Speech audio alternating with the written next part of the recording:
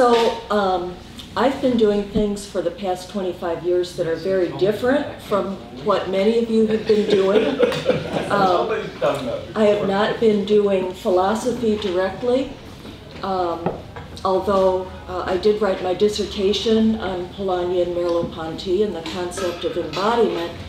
Um, after, uh, or close to getting my PhD in 1980, uh, Guillermo and I moved to Toledo, Ohio, and there was a, this is totally ancillary, okay?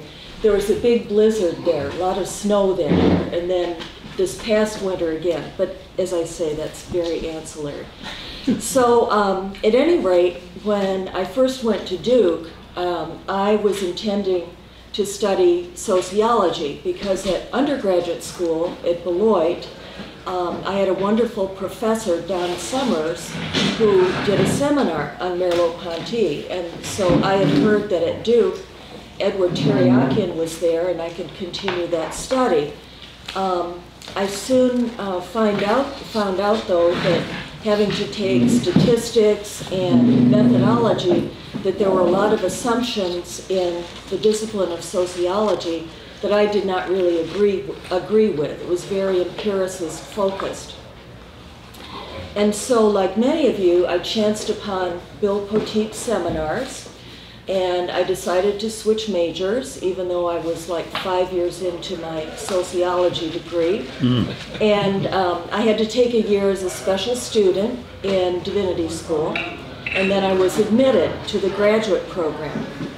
So um, the seminars I, I took with Poteat, Merleau-Ponty, Polanyi, Percy, Kierkegaard.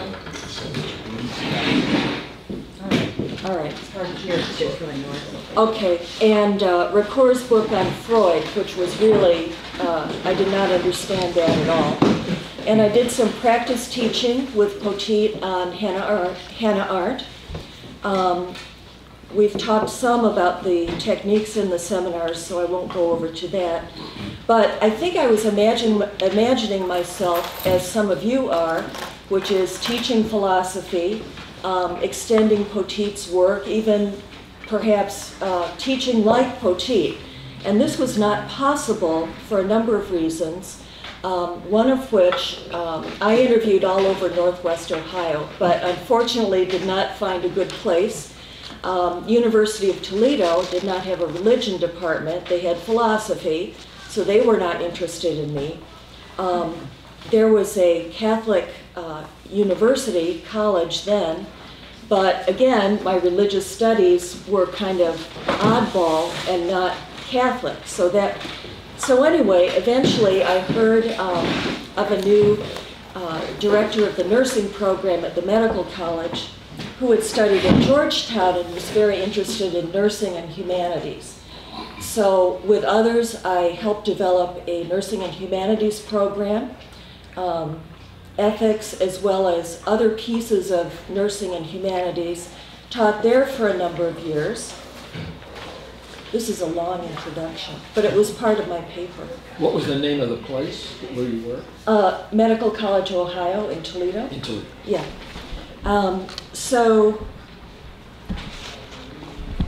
after a few years, in 1990, I learned that uh, a local Catholic medical center, St. Vincent Mercy, was seeking a bioethicist, and their plan was to, quote, um, resurrect their moribund ethics committee and um, do some teaching, perhaps start an ethics consultation service. Um, so I signed on there, and I was director of ethics for 18 years. Um, my responsibilities included working with several different ethics committees um, with education and chairing them. Um, I also served on and developed others institutional review boards for the study of, for the approval of research using human subjects, and um, did some research myself. I did a lot of teaching, primarily episodic, um, short uh, grand rounds or case study discussions for doctors, nurses, etc. And I also did ethics consultation. I started that service there. Um, I uh, count uh, around 600 cases that I saw within those years. Um, many of them went well, but I'm not going to talk about one that went well today because I could do that, but it wouldn't be as interesting, I don't think, for you. Um, so I am going to talk about one especially that um, has always been haunting, and there, there's that word again that we heard in Kieran's talk. Um, so let's see where I. So where, where was the latter place that you worked? Um, St. Vincent Mercy Medical Center Yeah. in Toledo. It- Also in Toledo? Yes, Okay. also in Okay. Toledo, okay? So, um, when I began to, okay, I need to back up a little. In the 70s, when I left Duke, the discipline of bioethics was just getting started. And I found it a very interesting field with some relationship to what uh, Poteat was doing. But what, what was interesting to me was that the field was developing very rapidly after the 70s, albeit grounded in older religious, you're welcome, religious as well as philosophical um, underpinnings. Um, however, after, okay, Secular bioethics began in the 60s and 70s. all right, see, this is what he said to me yesterday. Okay, so, um, and very briefly, a key point in the de- development of bioethics was the um, Holocaust, um, not only for the um, atrocities perpetrated on individuals, which later led to the Nuremberg trials, and a series of principles for research involving human subjects, but also simply because of the new technologies that were invent- that were developed at that time. So I was learning, the discipline was forming, finding its own voice, and to me that was all very interesting. Um, I also want to preface by saying that as I discuss this case, you may assume or think that bioethics is um, kind of out there or not grounded in theory, but in actual fact, it's extremely grounded now. There are thousands and thousands of books that have been written. There's extensive ethical theories out there. Um, every hospital that you go to or would want to practice at will have an ethics committee. Many will have ethicists as individuals. Um, there's also a, I don't have that book, there's also a society, the American Society of Bioethics and Humanities, which has, in the past, uh, I want to say five years, come out with um, not only standards for bioethics consultation, but also how to develop competent, competencies in doing that. So it's a very um, successful, in a way, discipline, and maybe we all could learn something from that because it's really taken over. Okay, one of the things I've been interested in in bioethics is not so much the cases that go well, but cases that may um, not have gone well. And I would submit to you that whenever there's been a crisis in our society with a case, Quinlan, Cruzan, Schiavo more recently, those are cases that are, in a sense, bring us to a crisis and develop our knowledge further. Um, one of the, but being interested in this development, um, a person I met at Cleveland Clinic, Paul Ford, who has um, kind of a disciple of Richard Zaner, a phenomenologist, uh, was interested, like me, in the kind of mistakes or errors or, uh, in a sense, cases that haunt us over the years. And so they uh, brought together from a number of ethicists cases that, in fact, were haunting. Um, it's called Complex Ethics Consultations, Cases That Haunt Us. Um, and these people contributed many firsthand accounts of their struggling um, with certain cases that didn't resolve well according to them. They may not have been mistakes, they might, might not have been errors, but they were very difficult to work through. So I really recommend this book. It's very phenomenological in a way. Um, if any of you are on an ethics committee, it's very good for teaching material as well, maybe even in an ethics class. Um, okay, so I'm going to talk um, about the case that I contributed to this. Um, it is a first-hand account, and to my way of thinking, it really reveals the way that ethics deliberation is um, a form of personal knowledge. Okay, it's embodied. It's in a situation, oftentimes a situation which is very difficult. There are a whole host of people involved in the case as well: families, doctors, um, nurses, social workers, pastoral care people. So it's all very complex.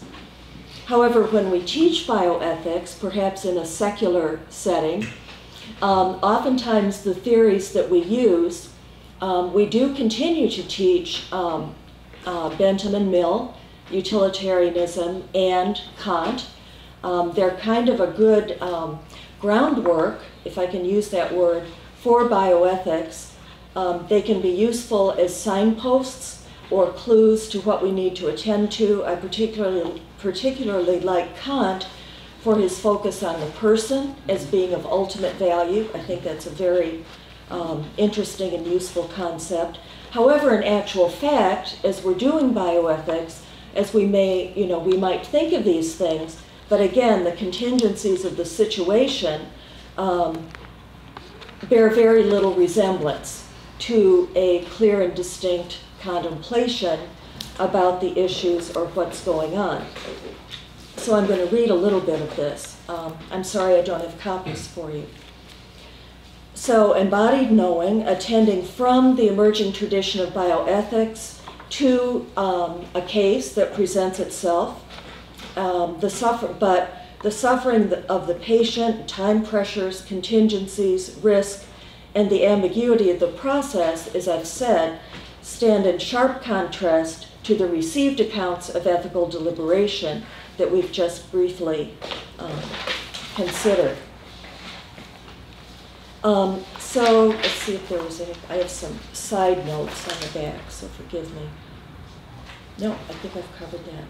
So this case is called Listening to the Husband, and it was one of the first cases that I was called upon to look at as a new ethics consultant. Um, so it was actually um, very challenging for me. And um, it was basically, I think, number one or number two, the cases that I did. Um, let's see, I talked about the development of bioethics. Um, I want to say a little bit about one of the key issues because it relates to this case, and that is the development of ventilators. Okay, and again, these were developed first as um, iron lungs in Denmark. Um, in 57, uh, they were starting, or even before that, they were used in the operating room to sustain patients who had had anesthesia. And then in the 1957s, uh, 57, I don't know if any of you are familiar with this series of questions to the Pope. Um, I'm sure at least one of us is, but this was Dr. Um, Bruno Haid. I'm not sure I'm pronouncing that well. But you can note um, his perplexity about um, ventilators, his ambiguity, and even difficulty in choosing the right words. And he addressed these to the Pope at a conference. First, does one have the right, or is one even under the obligation, to use modern artificial respiration equipment that took four words back then? In all cases, even those which in the doctor's judgment are completely hopeless. Second, does one have the right or is one under the obligation to remove the artificial respiration apparatus when after several days the state of deep unconsciousness does not improve, if when it is removed, blood circulation will stop after a few moments? What must be done in this case if the family uh, of the patient and the patient has already received the last sacraments, what if the family urges the doctor to remove the machine? Is extreme unction, now called um, anointing of the sick, I believe, still valid at this time? Third, must a patient plunged into unconsciousness through central paralysis, but his, whose life, that is to say, blood circulation, is maintained through artificial respiration, and in whom there is no improvement after several days, be considered, in fact or legally, dead? Do we not have to wait for blood circulation to stop in spite of the artificial respiration, before considering him dead. And the pontiff responded, um, again, drawing from the very deep Catholic tradition, normally one is held to use only ordinary means according to circumstances of persons, places, times, and cultures. That is to say, means that do not involve any grave burden for oneself or another. A more strict obligation would be too burdensome for most men and would render the attainment of higher, more important goods, spiritual goods, um, more difficult. Life, health, all temporal activities are in fact subordinated to spiritual ends. Um, on the other hand, one is not forbidden to take these measures if one wishes to. And this, I think, is a very central insight of modern bioethics. It's been carried forward um, not only in the ethical and religious directives for Catholic healthcare services, which I almost know by heart, even though I am not Catholic, um, as well as in the thinking of modern bioethics. There's a lot of talk about proportionality, about balances of benefits and burdens.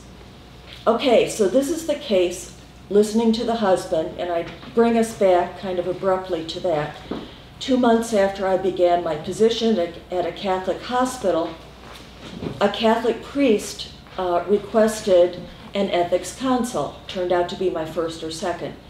He related that Ms. Barnes, uh, names disguised, a middle aged woman on a ventilator with advanced chronic obstructive pulmonary disease, or COPD, was asking to be taken off the ventilator. How do we respond to this in a Catholic hospital? And I infer that he meant, um, is it, are we allowed morally to withdraw a form of treatment in a Catholic hospital? Of course we are. Um, however, there was some confusion and had been confusion over the years for, for a long time. So what is the purpose of an ethics consult? Um, an early definition is um, to seek to identify, analyze, and resolve ethical dilemmas that occur in the clinical setting. And I think you can hear a lot of critical voicing in there. Um, a definition that I prefer um, is attempting to improve the conversation within a difficult case so that everyone's voices are heard. And those who are most important, which most often is the patient, um, because it's the patient's autonomy that we work towards, um, to be sure that that voice is heard. Um, so, um, many, I'm not sure how much you know about ethics consultation. If you have questions, please ask at any time. But um, one mode of proceeding with this case would have been to convene an ethics committee. And this involves anywhere from 12 to 24 people um, it, you know, I tried to do this, the logistics were very difficult. So with the permission of the chair at that time, um, also a Catholic priest, um, I proposed to work more individually on the case and yet while seeking consultation um, all the way through from other ethics committee members as well as colleagues at other organizations, such as the Medical College. Um, and I did keep in touch with these individuals. So basic steps would be gathering facts, speaking to all those involved. I mentioned identifying and analyzing the ethical issues.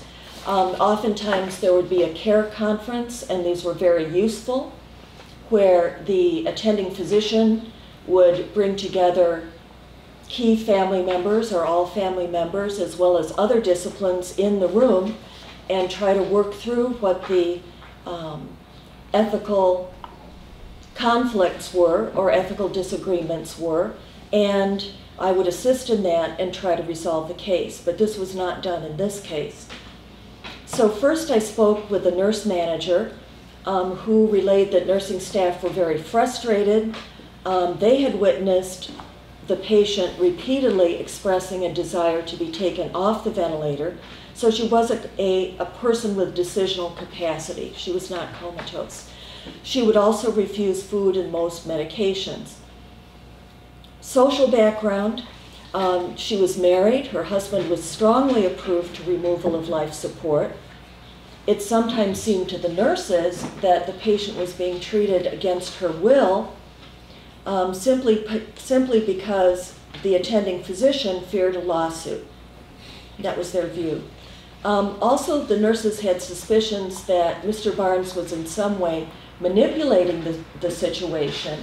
The patient appeared to be, to the nurses, um, to be more guarded, more compliant with the medical regime, more willing to go along with ventilator support when he was there. So a, a number of questions are already being raised.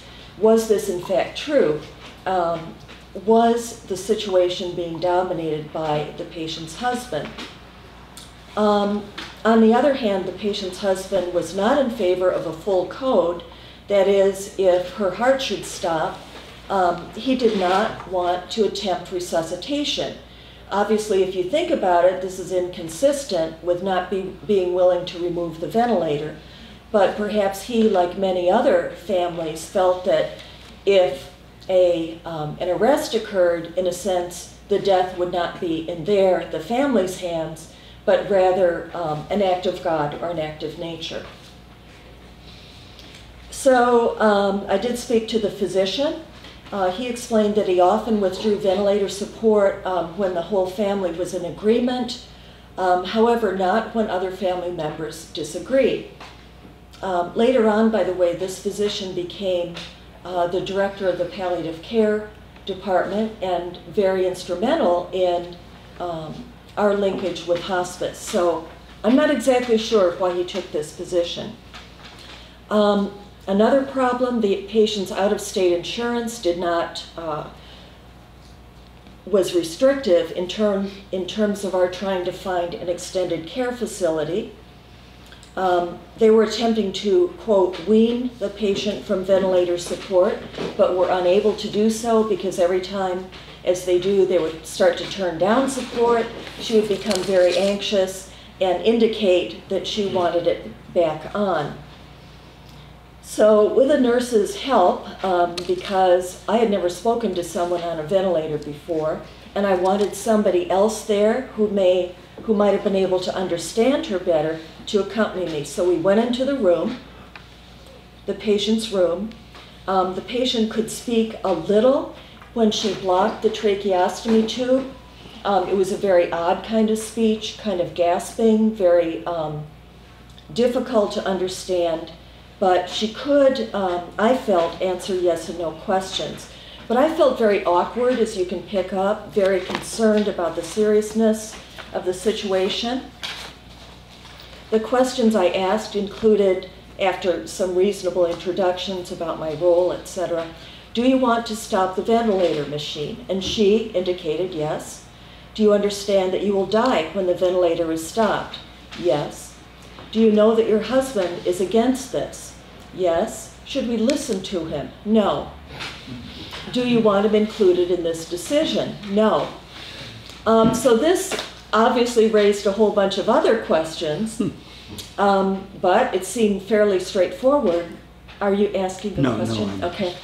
From first glance, and I, I indicate first glance, that it was a very cut and dried ethics case, autonomy Hmm. versus paternalism. Not sure what the justification of the paternalism was. There didn't seem to be a good one. Um, but I took this um, uh, into my uh, consideration. And I, I did explain to Ms. Barnes, as is the case, that I do not make decisions. I provide recommendations or I provide um, a range of alternatives that would be ethically acceptable, etc. But I said that I would talk to her physician. So, kind of in a textbook approach, um, I was sitting there at the nurse's station um, and I had already read the chart, by the way. That's a first step you I left out. Um, I was sitting there peacefully trying to write a really cogent um, ethics note. We do write in the medical chart, and this is not simply to present a um, fixed reality, as you might think, but as a form of communication. Because there are so many people involved in every case that if you don't write there, you're not going to get a whole picture of what's going on. But my notes were obviously very different from doctor's notes as the hospital attorney remarked to me one time. Um, he said that I kind of introduced a narrative, more narrative approach. Um, our attorneys were all English majors, which I thought was excellent. Um, so I was sitting there writing this great um, chart, trying to be very careful.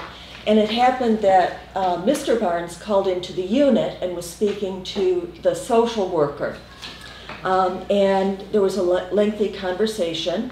The social worker related to me that uh, Mr. Barnes was almost, in a sense, losing it. He was very concerned, very anxious, very frightened by the whole situation, as well as very adamant about not taking the ventilator off.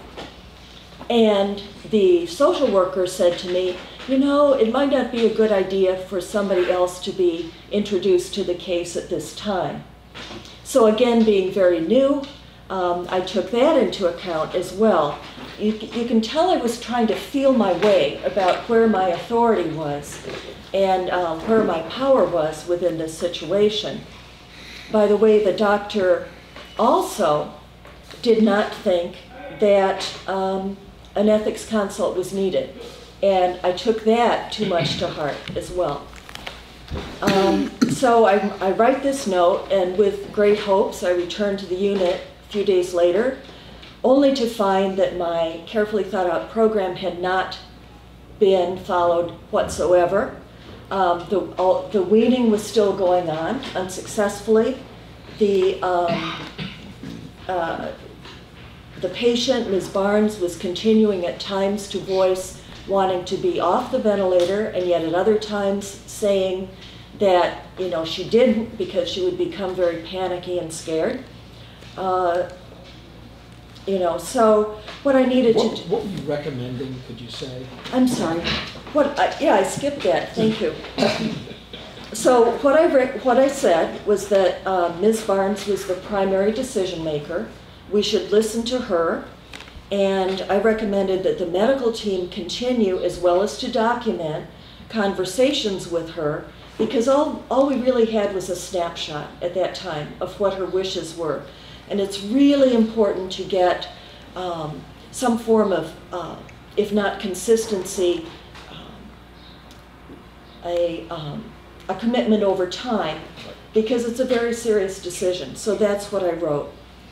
And um, again, I was encouraging the doctors and other professionals to do that as well as to chart it so we could know what she really wanted.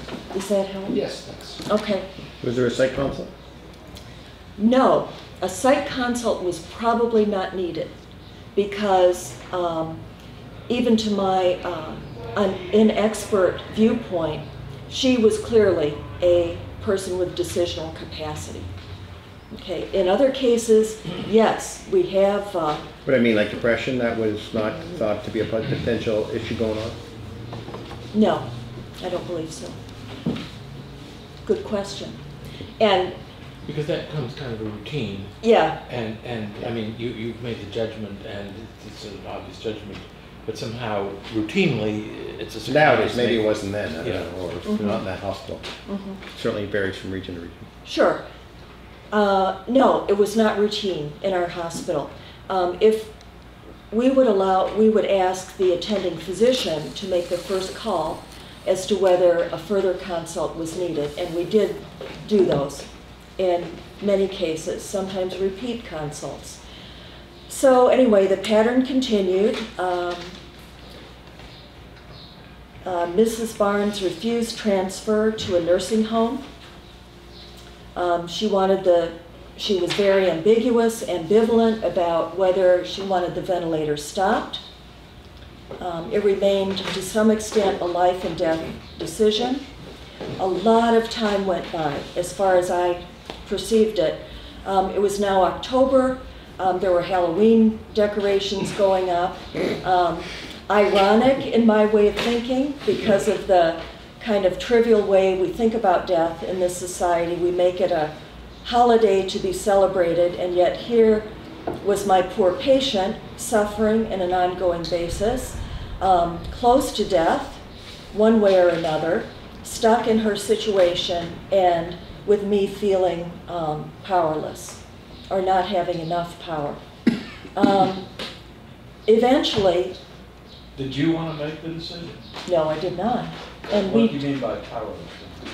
Um, by powerless, what I have, would, would have liked to have seen was more incorporation perhaps of the full ethics committee.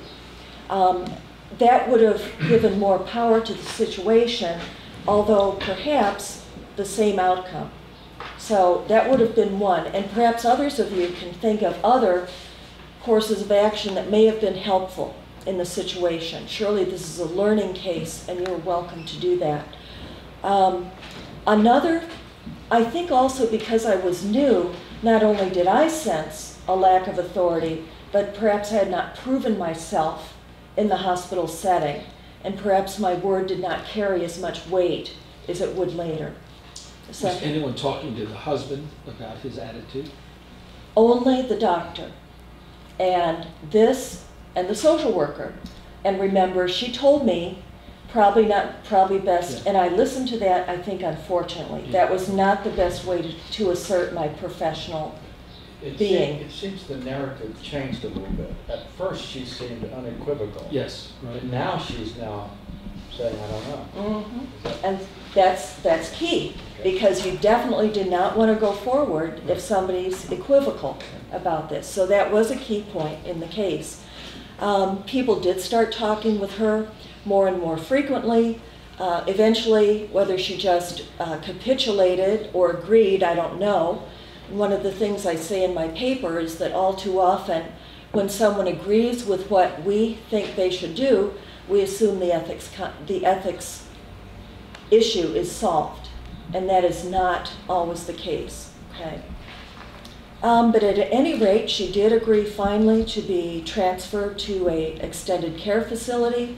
Um, she did die after several weeks. This is not to say that she wouldn't have died in the hospital.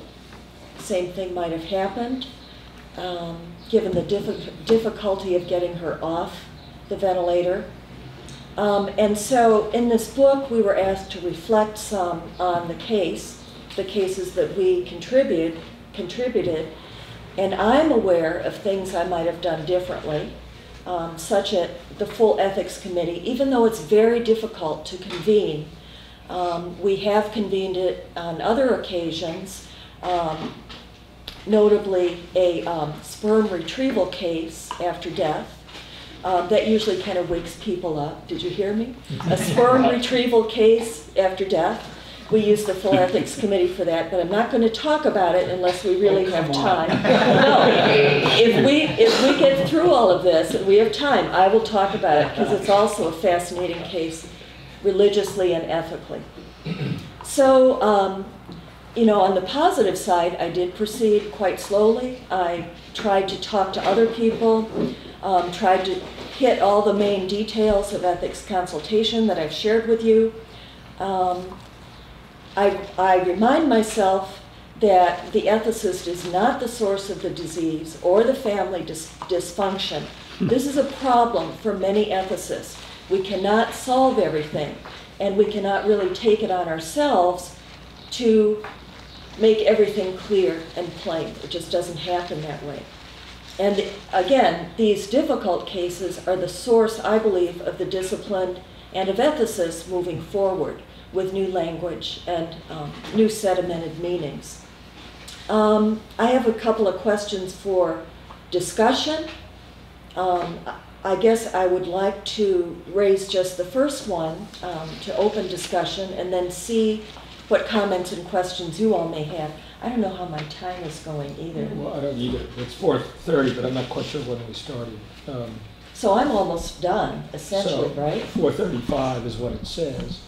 Uh, do you Like, want, We were 15 minutes late. so I think we will. we're good. Do you want to have discussion after you're through and then have discussion? I think that would make Yeah. sense. 'cause we're- Okay. we're- Okay, we're kind of So, different. but Yeah. Ellen, can you just talk, why does this haunt you? I, I'm, I'm, that's what I'm not clear about, Okay. okay? Um, a woman is ambivalent, her husband is clear, the doctor thinks an ethics consult isn't necessary. So what is it about it that haunts you? Mhm. Um, I think it's partially the sense that, um, it went on for a long time. It was very ambiguous. I think also partially it may be just a personal apprehension that I could have done something and I didn't. I don't think that's actually realistic necessarily. Um, I think also um, I tend to imagine the nurses uh, dissatisfied with the outcome. Um, so that's that's why. And I, um, all of the cases in this book talk. Go ahead. You wanted Well, to I'm uh, respond. Could you just talk a little bit more about the nurses? Why, if the woman herself is ambivalent and becomes distressed when they try to wean her off this thing, why are the nurses thinking? I mean, I could understand if she was absolutely clear Mhm. and other people were keeping her on the ventilator, then I as a nurse would be very distressed.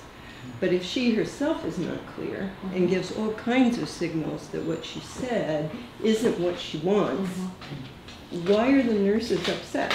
I think they were upset because nurses taking care of somebody day by day, they live with the ambiguity and the stress of doing that.